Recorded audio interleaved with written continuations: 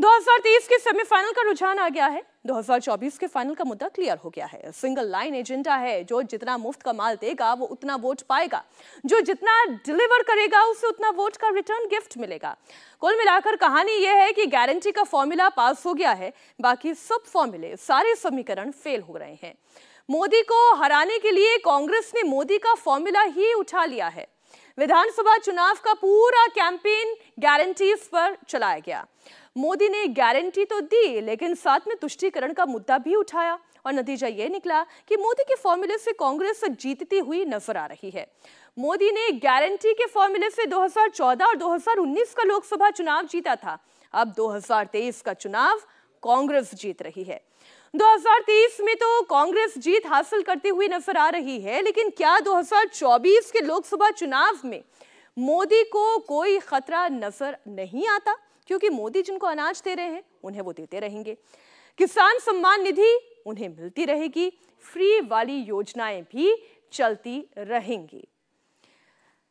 आइए आपको final seats दिखाते हैं। गारंटीज पर चूँकि बात हो रही है तो राजस्थान में किसकी गारंटी चलती हुई नज़र आ रही है? तुष्टीकरण का मुद्दा क्यों फेल होता दिखाई दे रहा है? एग्जिट पोल के नतीजों पर अगर हम आए तो अब आप देखिए एग्जिट पोल के रुझान ये कहते हैं कि 80 से 90 में भारतीय जनता पार्टी सिमट कर रह जाएगी। कांग्रेस पार्टी चौरानवे से 104 सीटें जीतती हुई नज़र आ रही है। क्लियर मेजोरिटी दिखाई दे रही है। राजस्थान में अशोक गहलोत की सरकार दोबारा सत्ता में आ सकती है। इस एग्जिट पोल में तो यही दिखाई दे रहा है।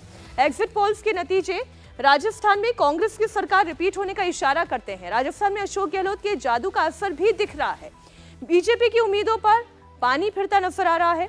अब विधानसभा की 200 में से एक सौ निन्यानवे सीटों पर का एग्जिट पोल तो हमने आपके सामने रख दिया, लेकिन वोट शेयर क्या कहता है? वोट शेयर भी हम आपको दिखा देते हैं। वोट शेयर के लिहाज से बीजेपी 42 प्रतिशत, कांग्रेस 43 प्रतिशत और अन्य के पास 15 प्रतिशत। इसका मतलब तो यह है कि ये लड़ाई बड़ी क्लोज थी। बड़ी कांटे की लड़ाई थी। ये मुकाबला बड़े ही कांटे का था। और ये तो हम अपने संवाददाताओं के अनुभव से, हमारी टीम के अनुभव से भी बता सकते हैं कि जितने लोगों तक हम पहुँच पाए ये बहुत ही क्लोज कॉन्टेस्ट दिखाई दे रहा था, लेकिन वोट शेयर में तो ये दिखाई देता है। सीट में अगर हम इसे एक्सट्रापोलेट करते हैं तो फिर कांग्रेस पार्टी जीतती हुई दिखाई देती है। आइए राजस्थान के बाद बात मध्य प्रदेश की करते हैं। मध्य प्रदेश के नतीजे सबसे ज़्यादा चौंकाने वाले हैं। इसकी कल्पना ना बीजेपी के नेताओं ने की थी और ना ही कांग्रेस के नेताओं ने। कांग्रेस तो ये मानकर चल रही थी कि एंटी इनकम्बेंसी इतने सालों की है, अभी नहीं तो कभी नहीं। कई जानकारों का भी ये मानना था कि मध्य प्रदेश में अगर अब कांग्रेस सरकार नहीं बनाएगी तो फिर कब बनाएगी? लेकिन एग्जिट पोल ये कह रहा है कि मध्य प्रदेश में बीजेपी को प्रचंड बहुमत मिलने जा रहा है।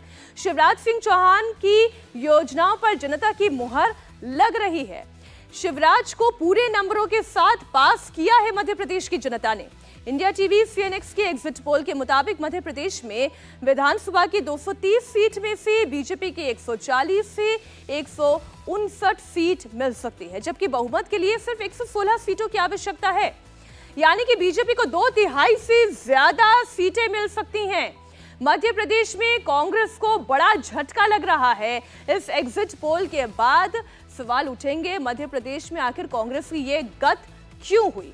पिछले चुनाव में जहाँ कांग्रेस को 114 सीटें मिली थी, इस बार अधिक से अधिक 90 सीट इससे एक एक्स्ट्रा नहीं। लेकिन इस बार बीजेपी को 50 सीटों तक का फ़ायदा होता हुआ दिखाई दे रहा है। आइए वोट शेयर की भी बात कर लेते हैं। वोट शेयर क्या कहता है मध्य प्रदेश का? जब सीटों में इतना अंतर है तो ज़ाहिर है वोट शेयर में भी अंतर दिखाई देना चाहिए, और वो दे भी रहा है। वोट शेयर में इस बार बीजेपी को ज़बरदस्त फ़ायदा हो रहा है। पिछली बार बीजेपी को 41 प्रतिशत वोट मिले थे और इस बार उनमें 5 प्रतिशत की बढ़त दिख रही है। जबकि कांग्रेस को 3 प्रतिशत के घाटे के साथ करीब 38 प्रतिशत वोट मिल सकते हैं। निर्दलीय और दूसरी पार्टियों को 16 प्रतिशत वोट मिलने का अनुमान है, जो पिछली बार से तीन प्रतिशत कम होगा। यानी कि यहाँ से भी जो घट रहा है, वो बीजेपी के पास जा रहा है। आइए अब बात छत्तीसगढ़ की कर लेते हैं। छत्तीसगढ़ से एग्जिट पोल के रुझान क्या बताते हैं? वो नतीजा आपके सामने है। रुझान ये कहता है कि यहाँ पर कक्का की सरकार बन रही है। भूपेश बघेल छियालीस से छप्पन सीटों के साथ दोबारा सत्ता में लौट सकते हैं। नब्बे सदस्यों वाली छत्तीसगढ़ विधानसभा में कांग्रेस को बहुमत मिलने का अनुमान जता दिया गया है। बहुमत के लिए 45 सीटों की आवश्यकता होती है लेकिन उन्हें इससे ज़्यादा सीटें आ सकती हैं। पिछली बार कांग्रेस को अड़सठ सीटें मिली थी। यहाँ पर अगर एक ग्रे फैक्टर आप देखें कांग्रेस पार्टी के लिए तो वो ये है कि पिछली बार बहुत ज़्यादा सीटें थी इस बार सीटों में कटौती हो रही है। कांग्रेस को 15 से 20 सीटें कम मिलने का अनुमान है। और, और अब वोट शेयर आप देखें। वोट शेयर में जहाँ 90 सीटों में बीजेपी इकतालीस प्रतिशत पर दिखाई दे रही है। कांग्रेस पार्टी तैंतालीस प्रतिशत वोट शेयर के साथ दिखाई दे रही है। ये भी चुनाव आखिर आखिर तक बीजेपी ने पूरी ताकत लगाई। भ्रष्टाचार का मुद्दा उठाया, महादेव ऐप का मुद्दा उठाया। लेकिन वोट शेयर में तो दिखाई देता है कि ये मुद्दा कुछ हद तक काम किया है। लेकिन अगर नतीजों में इसे देखें तो नतीजों में छत्तीसगढ़ में तो कांग्रेस की सरकार बन रही है। हमारे साथ हमारे दो सहयोगी जुड़े हुए हैं। भोपाल से अनुराग अमिताभ हैं, रुचि कुमार रायपुर से हमारे साथ जुड़ गई हैं। तो पहले हम छत्तीसगढ़ की बात कर लेते हैं। रुचि, कांग्रेस खुश तो बहुत होगी ना एग्जिट पोल के बाद? देखिए मीनाक्षी, खुश भी है, लेकिन कांग्रेस का ये कहना है कि जितनी सीट्स हमें एग्जिट पोल दिखा रहा है, उससे ज़्यादा हमारी सीट यहाँ पे आने वाली है। लेकिन एक तरह की खुशी है क्योंकि जो एग्जिट पोल हैं, वो ये बता रहे हैं कि छत्तीसगढ़ में कांग्रेस की सरकार बनने जा रही है। कांग्रेस बहुत सारे पॉइंट्स गिना रही है, जिसके हिसाब से उसको लग रहा है कि सीट ज़्यादा आनी चाहिए। उनका कहना है कि पाँच साल जो भूपेश बघेल ने यहाँ सरकार चलाई और जो वादे करके वो आए थे, वो काफ़ी हद तक उन्होंने पूरे कर दिए भूपेश बघेल सरकार ने, जिससे जनता खुश है। अब अगर आप छत्तीसगढ़ आएँगी तो करीब सत्तर फ़ीसदी आबादी मीनाक्षी यहाँ गाँव में रहती है। अब भूपेश बघेल जब कांग्रेस की सरकार पहले आई थी, तब भी किसानों को कर्जा माफ़ एक बड़ा मुद्दा था, जिसकी वजह से उनकी सरकार आई थी और फिर धान खरीद का मसला था, उसमें बोनस का मसला था। अब दोबारा भूपेश बघेल ने फिर कहा है, किसानों का कर्जा माफ़ करेंगे, धान खरीद के रेट बढ़ा दिए हैं, जो ये जो धान खरीद में जो पैसा बोनस देना है, उसका भी रेट बढ़ा दिया गया है। और एक बड़ी बात इस बार कांग्रेस को उम्मीद है कि उसके वोट शेयर में ज़्यादा बढ़ोतरी होगी, क्योंकि जो लैंडलेस किसान थे उनको ये कर्जा माफ़ी से कोई फ़ायदा नहीं होता था। तो अब लैंडलेस किसानों के लिए भी कांग्रेस ने ऐलान कर दिया है कि वो दस हज़ार रुपया सालाना देंगे। तो यानी कोशिशें पूरी तरह से बीजेपी की तरफ़ से की गई हैं। कांग्रेस की तरफ़ से की गई हैं माफ़ कीजिएगा। और कांग्रेस का ये भी कहना है कि जो आदिवासी हैं करीब इकतीस फ़ीसदी आबादी यहाँ आदिवासियों की है छत्तीसगढ़ में तो उनके ऊपर काफ़ी हद तक कांग्रेस रिलाई कर रही है जो रुचि हमने सुनी छत्तीसगढ़ में जो शिक्षा की बात की जा रही थी और ख़ास तौर पर उन आदिवासी इलाकों में शिक्षा के बाद अंग्रेज़ी मीडियम में बच्चों को एजुकेशन दी जाएगी, इसने भी कुछ हद तक अपील ज़रूर किया होगा। अनुराग, अमिताभ हमारे साथ भोपाल से जुड़ गए हैं। देखिए, छत्तीसगढ़ में तो जो ओपिनियन था, वही एग्जिट पोल भी है। लेकिन जो मध्य प्रदेश में हो रहा है, ये तो वाकई में चौंका देने वाला है।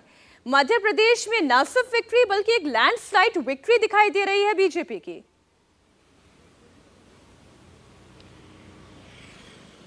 देखिए, अगर जो एग्जिट पोल के नतीजे हैं, वो तीन तारीख को परिलक्षित होते हैं तो निश्चित तौर पर ये बेहद चमत्कारिक होगा खुद बीजेपी के लिए, क्योंकि उन्होंने भी इतनी तगड़ी उम्मीद नहीं की थी। एक सौ तिहत्तर सीट उन्हें 2003 में मिली थी, और एक सौ पैंसठ सीट करीबन 2013 में मिली थी। उन्हें भी उम्मीद नहीं थी कि ये लैंडस्लाइड विक्ट्री उन्हें मिलेगी। अगर ये तीन तारीख को, अगर ये परिलक्षित होती है नतीजों में, जब मतदान आएँगे और अगर ऐसा होता है तो माना जाए जिन तीन फैक्टर्स पे काम किया था मध्य प्रदेश में ये उसकी सफलता का एक बड़ा कारक है। सबसे पहले मोदी के मन में एमपी एमपी के मन में मोदी। मोदी की तमाम वुमन सेंट्रिक योजनाओं के ज़रिए और तमाम उनकी योजनाओं के ज़रिए मध्य प्रदेश में पैठ की, की गई चाहे वो प्रधानमंत्री आवास योजना हो या किसान कल्याण योजना हो। नंबर दो अगर हम देखें मोदी के मन में एमपी के बाद जो जिस योजना ने जो गेम चेंजर योजना कही जा रही है जिसके चलते कम से कम तीस से चालीस ऐसी विधानसभाएँ जहाँ अस्सी प्रतिशत से ज़्यादा महिलाओं ने वोट दिया, वो रही लाडली बहना योजना।